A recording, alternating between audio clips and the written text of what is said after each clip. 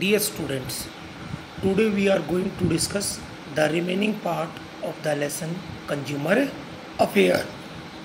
यहाँ पे आपको एक एग्ज़ाम्पल नज़र आएगा। इस एग्ज़ाम्पल में right to seek redressal right to seek redressal जो एक कंज्यूमर का राइट है उसे यहाँ पे दिखाया गया आप देखेंगे here is an elderly person एक बुज़ुर्ग व्यक्ति है। वो पोस्ट ऑफ़िस में जाता है। अपने घर मनी ऑर्डर भेजने के लिए। मनी ऑर्डर भेजने के बाद में फ्यू डेज़ लेटर वो अपनी फैमिली से कांटेक्ट करता है कि मनी ऑर्डर पहुँचा या नहीं।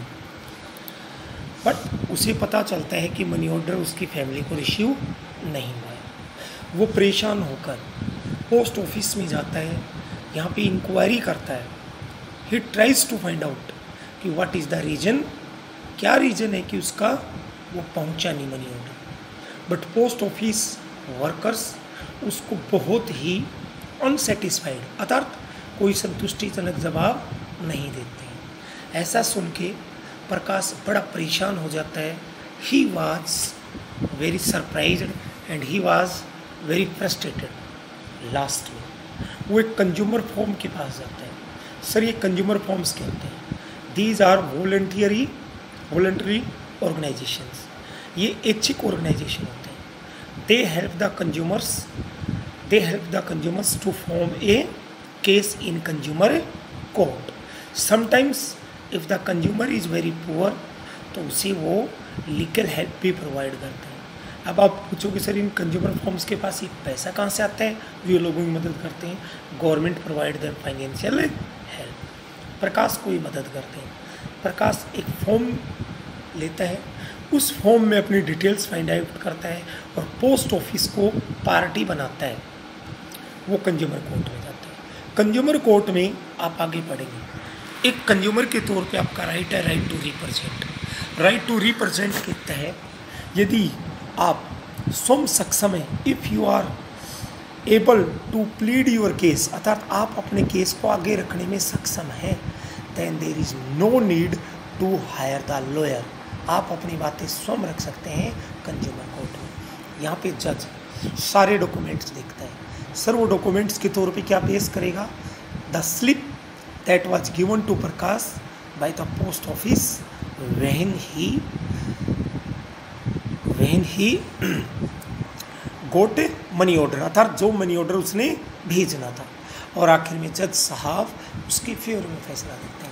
इस प्रकार आपने देखा होगा राइट टू सिक रेडिएशन के तहत प्रकाश की जो परेशानी हुई, जो उसका पैसा नहीं पहुँचा था, उसके सॉल्यूशन के लिए वो कोर्ट में जाता है। ये कंज्यूमर के तौर पे एक कंज्यूमर का फोर्थ राइट था। उसके बाद में right to represent right to represent के तहत जैसा हमने पाया, जैसा हमने पाया कि आप कोर्ट में जा सकते हैं। राइट टू रिप्रेजेंट के तहत। अब कोर्ट तीन तरह के हैं consumer court there are three type consumer courts and they are related to each other first one is the district consumer court second one is the state consumer forum or you can say state consumer district and third one is the national consumer court यदि being a consumer आपका claim आपकी परेशानी 20 लाख या उस तक है 20 लाख या वहाँ तक है तो आप सीधे डिस्ट्रिक्ट कंज्यूमर कोर्ट में जाएँगे यदि आपका केस ट्वेंटी लैक्स से अबाउ बट वन करोड़ तक है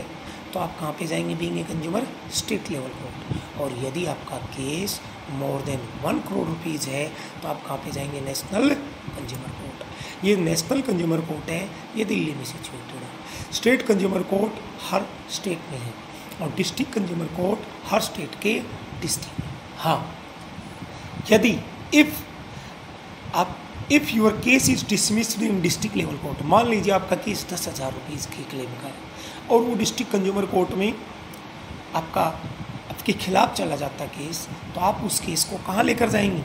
आप उस केस को स्टेट कंज्यूमर कोर्ट में। और यदि वहाँ भी हार गए तो नेशनल कंज्यूमर कोर्ट में। और यदि नेशनल कंज्यूमर कोर्ट में हार गए तो फिर कोई सोल्यूशन नहीं।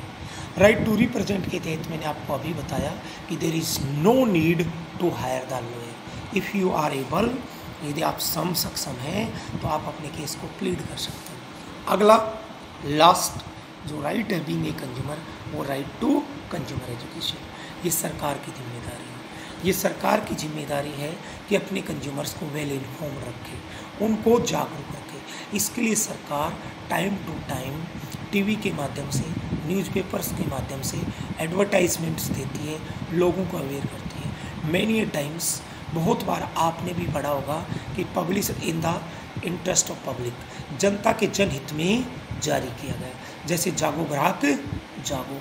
इस प्रकार के और बहुत सारे एडवर्टाइजमेंट्स आपने टीवी पर देखे होंगे। आगे आप देखेंगे कुछ एक मार्क है जैसे आईएसआई मार्क आईएसआई मार्का है, ये इलेक्ट्रिक अप्लियंसेज में पाया जाता है, इलेक्ट्रिक प्रोडक्ट्स में पाया जाता है। और जिस भी इलेक्ट्रिक प्रोडक्ट में ये सिंबल यदि मार्क्ड है तो वो कंपनी उसकी क्वालिटी के लिए क्लेम करती है। एग मार्क, खाने पीने की चीज़ों पर। एडिबल थिंग्स पे। यदि कोई कंपनी अपनी एडिबल आइटम्स पे एग मार्क का सिंबल यूज़ नहीं करती है इट मीन्स वो कंपनी उसकी क्वालिटी को क्लेम नहीं करती बट किसी कंपनी ने इसको यदि मार्क किया है, एक मार्क को मार्क किया है, अर्थात उसमें मार्का किया है तो इट्स मीन्स वो अपने प्रोडक्ट को क्या क्लेम कर रही है कि एट पार क्वालिटी है। और सर यदि वो एट पार क्वालिटी नहीं निकला और एग मार्क हमने देख के परचेज़ किया तो आप उस कंपनी के खिलाफ जा सकते हैं। इसी प्रकार एक होल मार्क होता है, जो सिल्वर एंड गोल्ड अर्थात ज्वेलरी के ऊपर पाया जाता है। जिस भी गोल्ड और सिल्वर के ऊपर हॉलमार्क का सिंबल है, इसका मतलब उसके अंदर है प्योरिटी ज़्यादा है। इसलिए टीवी पर भी आपने गोल्ड से संबंधित आइटम्स के बारे में या ज्वेलरी के बारे में देखा होगा, सुना होगा कि जब भी आप कभी बी में कंज्यूमर गोल्ड परचेज करते हैं तो हॉल मार्क सिंबल को ज़रूर नोटिस में रखें। टेकिंग आगे देखिए। 24 दिसंबर को एवरी ईयर 24 दिसंबर को every year national consumers day मनाया जाता है। इस दिन, अर्थात 24 दिसंबर 1986 को गवर्नमेंट ऑफ़ इंडिया ने, अर्थात पार्लियामेंट ऑफ़ इंडिया ने कंज्यूमर प्रोटेक्शन एक्ट पास किया था। नो no डाउट हमारे देश में कंज्यूमर जो प्रोटेक्शन सिस्टम है, ये बड़ा एडवांस हुआ। आज भी more than 700 consumer protection groups आगे हैं। अर्थात लोगों के लिए काम कर रहे हैं but out of them only 20 to 25 are well organise अब आप देखेंगे sir what are the problems of consumer protection system पहला, ये बड़ी ही एक्सपेंसिव है। इट मीन्स आपको केस फ़ाइल करने के लिए मैनी टाइम्स आप वकील हायर करते हैं, पैसे लेते हैं। टाइम कंज्यूमिंग केस वगैरह को फ़ाइल अप करने के लिए, उसकी डेट्स वगैरह को अटेंड करने के लिए आपको टाइम चाहिए होता है। इसी प्रकार बहुत बार अपने पास कैश मेमो नहीं होता। अदर जो हमने परचेजिंग की, उसका बिल नहीं होता। इसी प्रकार हम बहुत बार स्मॉल लेवल पे अर्थात बहुत कम क्वांटिटी में चीज़ें परचेज करते हैं, इसलिए हम कोई ज़्यादा ध्यान नहीं देते। और बहुत बार जितना लॉस होता है अर्थात डिग्री ऑफ़ लॉस होता है, उसकी तुलना में हमें कंपनसेशन पर्याप्त नहीं मिलता है। इसलिए ये इसका ड्राबैक्स है। अब ये यहाँ पे क्वेश्चन देखेंगे। Availing details of ingredients of a product हम एक प्रोडक्ट के ऊपर जो डिटेल्स प्राप्त करते हैं, ये हमारा कौन सा राइट होता है? राइट टू इन्फॉर्मेशन एगमार का हम किसके ऊपर यूज़ करते हैं? Certification of edible oils and food grains accident due to faulty engine scooter ये कौन से राइट का वोलेशन है? राइट टू सेफ्टी का district consumer court district consumer court क्या है? District consumer court dealing with consumer cases consumers international क्या है? Global level institution of consumer welfare organisation. Bureau of Indian standard क्या है? Agency that develop standards for goods and services अब true false देखिए। COPRA applies only to goods no it is also applied to goods and services इसलिए goods अकेला होने के कारण ये फॉल्स है। यदि इसके साथ सर्विसेज़ होता तो ट्रू होता। India is one of the many countries in world which has exclusive courts for consumer redressals yes आपने देखा होगा कंज्यूमर्स की प्रॉब्लम्स को सॉर्ट आउट करने के लिए हमारे यहाँ तीन तरह के कंज्यूमर कोर्ट्स हैं। उसके बाद में देखेंगे।